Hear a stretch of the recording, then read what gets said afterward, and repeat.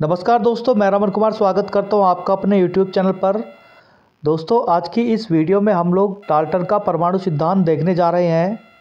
तो दोस्तों, परमाणु की को समझने के लिए सन 1808 ईस्वी में जॉन डाल्टन ने एक प्रयोगों के आधार पर एक सिद्धांत दिया था, जिसे हम डाल्टन का परमाणु सिद्धांत कहते हैं। उन्होंने परमाणु सिद्धांत में बहुत सारी बातें इम्पोर्टेंट बातें हम लोगों को बताई थी। आइए देखते हैं।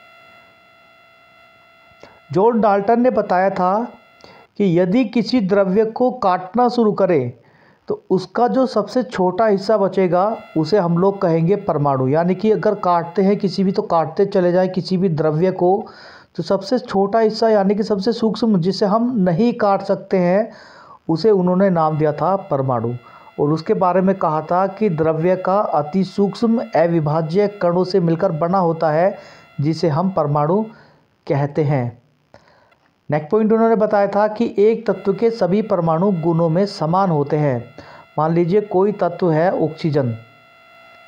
तो उनके अनुसार कि ऑक्सीजन के सभी परमाणु, ऑक्सीजन जिन जिन परमाणु से मिलकर बना होता है, उन सभी परमाणुओं के गुण कैसे होंगे?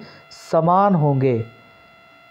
नेक्स्ट पॉइंट उन्होंने बताया था कि इस परमाणु को न तो उत्पन्न किया जा सकता है और न ही नष्ट किया जा सकता है। यानी कि ये परमाणु जो होते हैं, वे अविनाशी होते हैं। अति सूक्ष्म तो होते ही हैं, साथ में अविनाशी भी होते हैं। नेक्स्ट पॉइंट उन्होंने बताया था कि एक से अधिक तत्वों के परमाणु निश्चित अनुपात में मिलकर यौगिक या अणु बनाते हैं।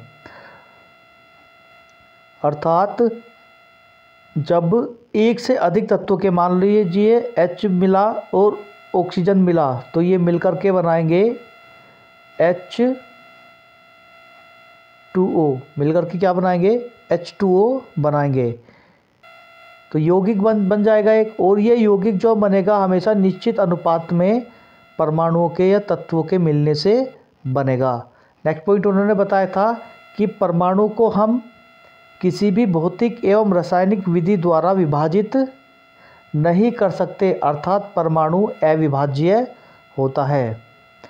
तो दोस्तों, जॉन डाल्टन ने यह परमाणु सिद्धांत दिया था और इस परमाणु सिद्धांत में कुछ कमियाँ भी थी। आइए देखते हैं एक बार। डाल्टन ने बताया था कि परमाणु अविभाज्य होता है। देखिए, जब डाल्टन ने परमाणु सिद्धांत दिया था तो उन्होंने बताया था कि परमाणु अविभाज्य होता है, यानी कि अब हम उसे विभाजित नहीं कर सकते, लेकिन जो परमाणु होता है, वह इलेक्ट्रॉन, प्रोटॉन और न्यूट्रॉन से मिलकर बना होता है और इनको विभाजित भी किया जा सकता है। तो ये जो डाल्टन के सिद्धांत की प्रमुख कमी थी। नेक्स्ट पॉइंट पे चलते नेक्स्ट पॉइंट देखते हैं। डाल्टन ने बताया था कि एक तत्व के सभी परमाणु द्रव्यमान, आकार आदि गुणों में समान है, लेकिन जब समस्थानिक की उपस्थिति होगी तो इन परमाणु का द्रव्यमान तथा आकार भिन्न भिन्न हो सकता है। तो ये ये कमी थी नंबर दो पॉइंट। नेक्स्ट पॉइंट देखते हैं। यह सिद्धांत गेलुसैक के गैसीय आयतन की नियम की व्याख्या नहीं करता, यानी कि जोन डाल्टन ने जो सिद्धांत दिया था, वह गैलुसैक के गैसीय आयतन के नियम की व्याख्या नहीं करता। तो दोस्तों, ये था जोन डाल्टन का सिद्धांत। आपको वीडियो कैसी लगी, आप लोग कमेंट बॉक्स में अपनी राय ज़रूर दीजिएगा। वीडियो को ज़्यादा से ज़्यादा शेयर कीजिएगा चैनल को सब्सक्राइब कीजिएगा। मिलते हैं नेक्स्ट वीडियो में, तब तक के लिए नमस्कार।